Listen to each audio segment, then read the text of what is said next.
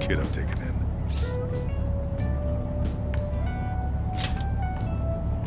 I was asked to do it, and I just happened to agree to it. As you can see, I'm pretty damn busy both at work and in my private life. If you could lend a hand, it'd really be a great help.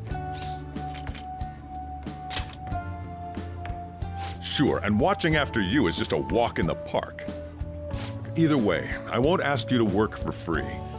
If you agree to help me, then I'll teach you how to make the perfect cup of coffee.